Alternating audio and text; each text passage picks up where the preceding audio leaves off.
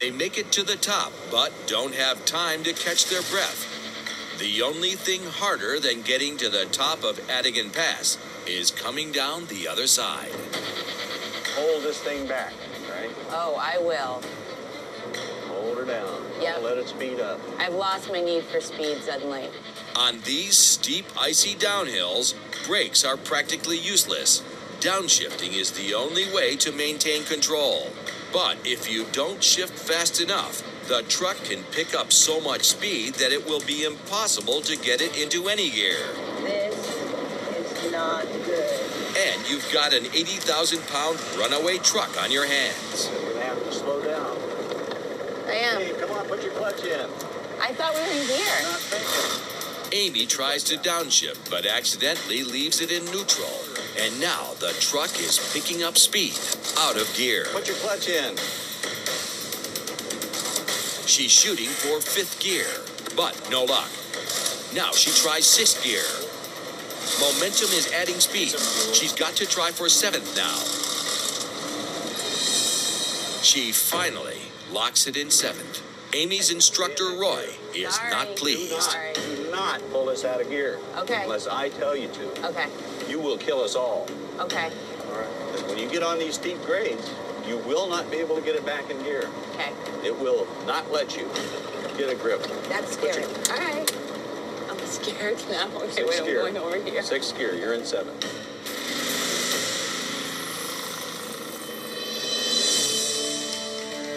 The rookies survived Atigun Pass and now have 100 miles to Deadhorse. But the Arctic storm catches up with them.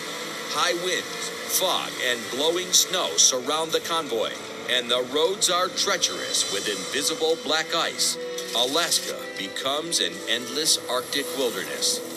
Schoolteacher Sandy is one of only a few truckers who appear comfortable behind the wheel. I'm getting the wave.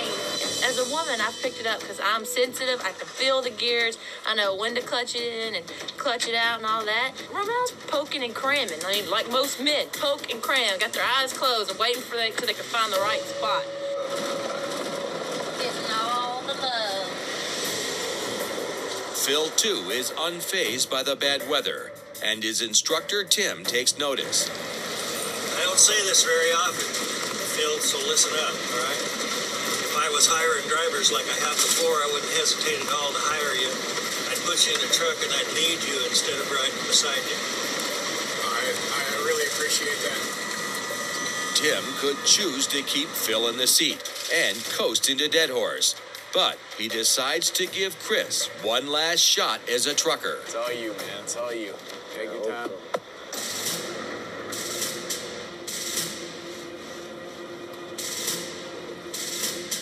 Starting out, his driving seems under control. Unfortunately, his mouth isn't. The problems I had when I was originally driving before I got tossed to the curb, it was uh, this downshifting. When it comes to doing it, I'm, it seemed like I'm choking. That's not really what you got got you, as you said, thrown to the curb. Though what got you canned was you couldn't get it started without the truck jumping up and down, and it won't take that. Right, but it didn't go happen the second time. But you're right. No, you're right 100. percent Let's let's let's meet Yeah, somewhere. I'm telling you where I know. at for me. I said that's fine. You know something?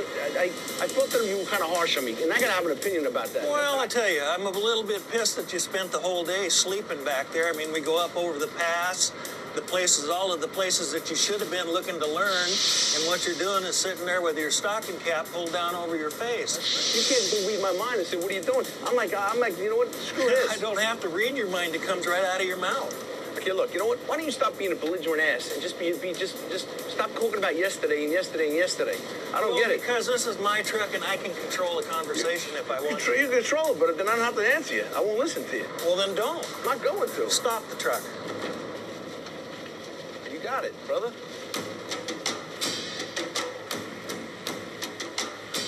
Out the door. Thank you very much. Thank you very much. Come on. All right, I will. I will. Enjoy yourself.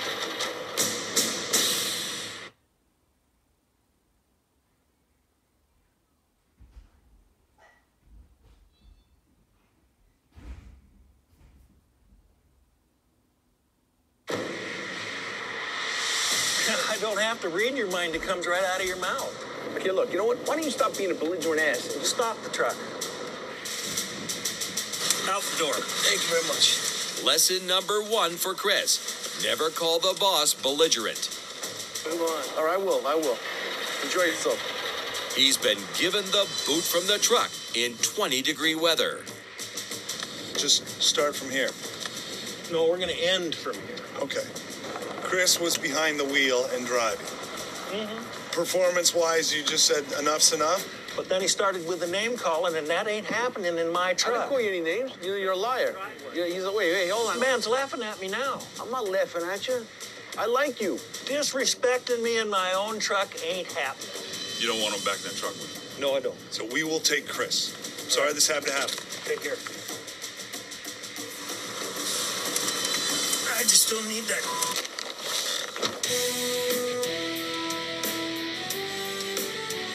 After driving 500 grueling miles and climbing 4,800 feet to the top of a mountain, our rookies can finally see the end of the road. Look! Look at the beautiful metropolis that is Deadhorse. I thought you said there was a mall here. I said a guy got mauled. Oh, a guy got mauled right there. Dude,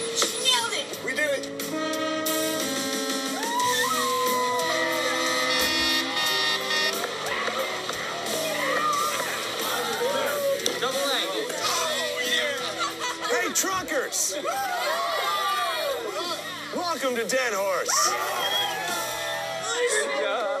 We are in Deadhorse, Alaska, the coldest place on earth. I'm just glad that we got here, all in one piece. Nothing got broken, except maybe some egos.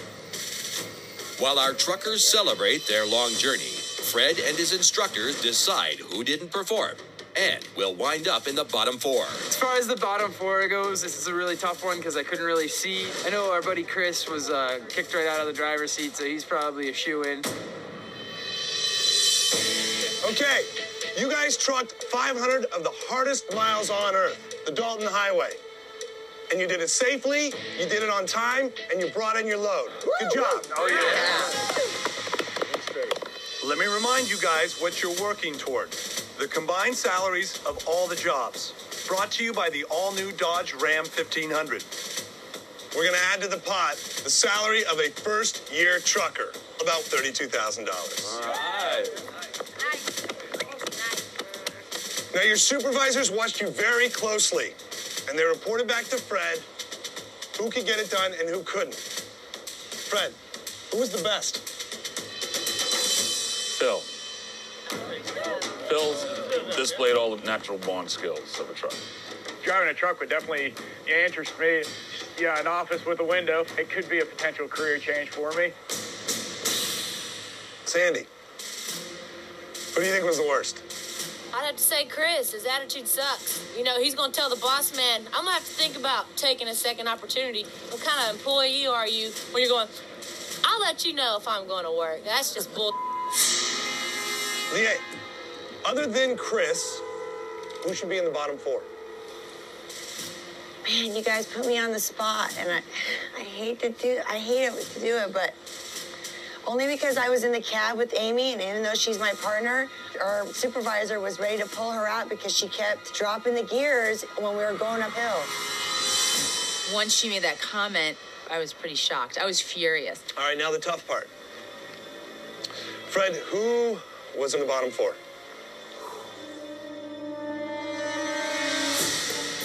Chris.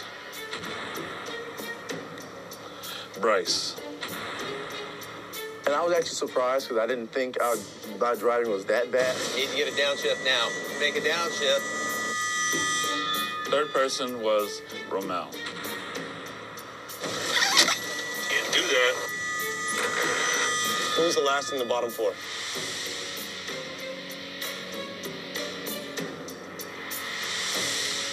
Amy. Oh my God, please. Drama. You can stab me in the back, you can do whatever you want, but like, don't come over and try and hug me afterward. It's just like, whoa. Oh.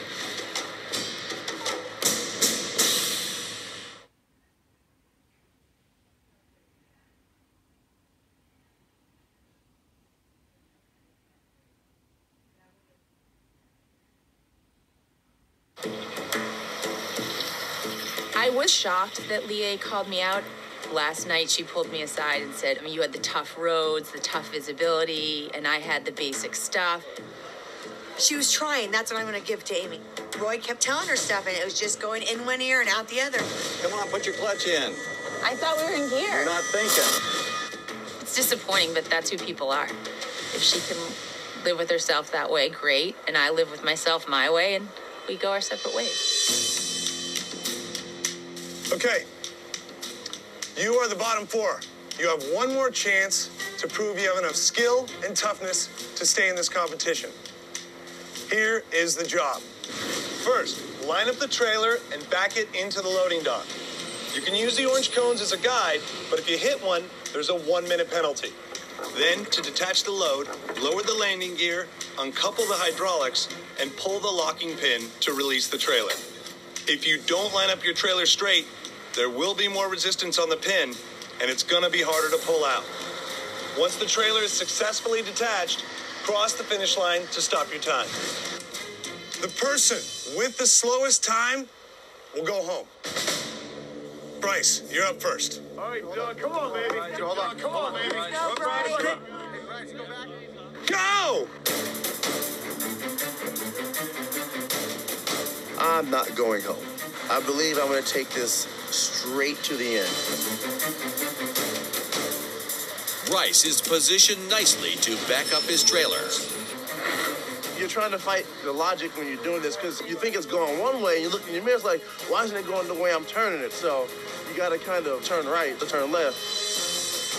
This way! This way! This way! Bryce is way off target. He's going to have to start over and line it up again. I can't see it.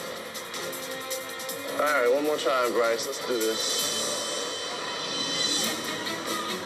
He hits it on the second try. Bryce has lined up right for the dock. Oh, he's on a cone. He's on a cone. Hold up.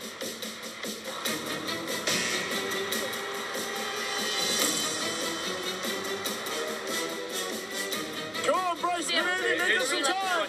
Crank it. He's detached the hydraulics. All he has to do now is release the locking pin on the trailer. There we go.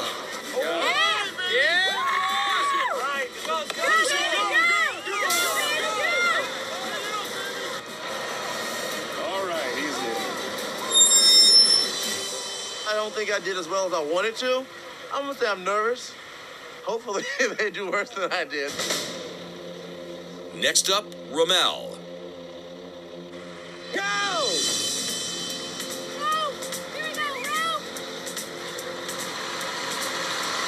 I didn't have much opportunity to, to practice backing up the truck. I mean, I, I don't even back up my car. I'm gonna focus and just get, get the job done. Keep going. Keep going. There you go, baby. Keep going. Rommel nails it on the first try. He's got a huge lead on Bryce at this point. He's got a great time, man. One shot. Yeah.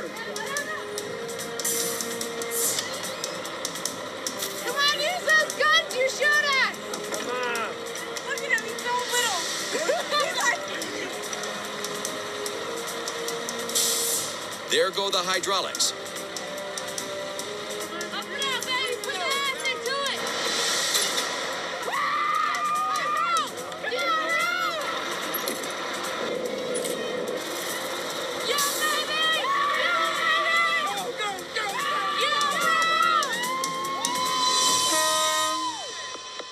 With Ramel's stellar time, Bryce knows he's in the hot seat.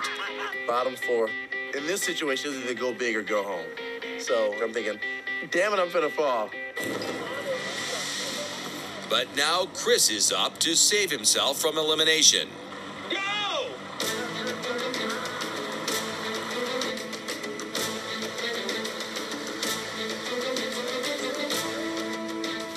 Backing that truck up and only having just a minimal experience, only two times of practice doing that. I mean, the pressure's on. When you're under the clock, it's not easy because you start making mistakes. Take two. Chris's lack of time in the driver's seat is affecting his ability to handle the rig. He's switching mirrors while he's backing up, causing him to get confused on which way to aim the trailer. making him miss the dock. Again. And again. I have lost count at how many times this is. He finally gets the truck backed up, but not without a few casualties. Chris has now surpassed Bryce's time. Come on, do hustle. He's in gear. Yeah, buddy. Okay, he's there. Chris's 24 minute time puts him dead last. There's four people going, and one person's with the lowest time is going to be booted out. And when your times are last, there is a kind of a stress going on in your head going, wow, man, you know what? I might be next. Reality's setting in.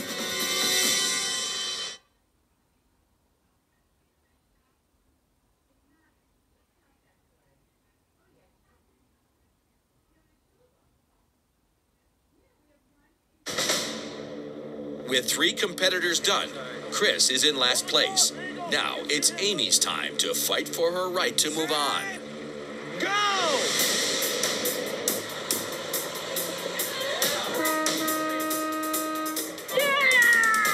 Watched these three guys, and even though like I just sucked at backing, I was like, oh, I have plenty of time to do this. So I just need to relax. This is gonna work out in my favor. Push right. She is dead center if she can back this up straight. Amy nails it on the first try. My backing wasn't great, but it was faster than Bryce and Chris. So I'm psyched. Yeah, Amy, come on! Crack that back! You got it! The landing gear is down, and Amy is cruising through this task. I saw her take off, man. She was like a bullet. I'm gone, man. Put me on a plane, adios.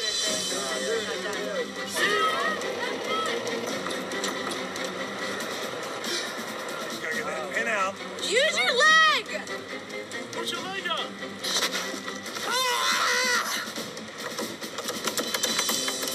Amy has run into a snag with the locking pin. It doesn't want to budge. Ah! I started pulling on it, and I was like, wow, this is not gonna be good. Like, I only have so much strength. Ah! It was heartbreaking to watch Amy. She had done great backing the truck up. I think where Amy went wrong with the pin is that she kept yanking it instead of just doing a nice, solid, strong pull and pulling that out. Let, let's see if she can get a deep pressure.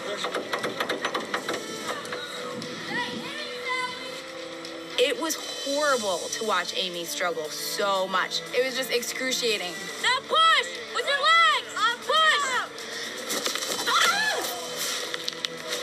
Unfortunately, Amy's time has now gone longer than Chris's, and she still can't pull the pin. That's it. That was tough luck right there. It sucks. I'm sorry. You weren't tough enough. You're going home. Okay. You guys can say goodbye. I'm pretty devastated that I'm not going to be around to experience the other jobs. I'm proud of myself. I played the game fairly and straight. I am not backstabbing, posturing. I just do my thing. But I've realized you, you can't do that in this competition. I felt bad. I mean, I really felt bad I seen her leave because there was a connection that happened. She didn't talk to me after we separated. She wouldn't even make eye contact with me. So I knew she was mad, but you know, I can only base my judgments based upon what I've seen, and she wasn't doing a good job and wasn't listening. All right, listen up. Chris, you dodged a bullet on this one. Everybody, come on, on to the next job. We're heading south. From this experience, I'm going to just keep pushing, keep taking chances because, boy, it feels good.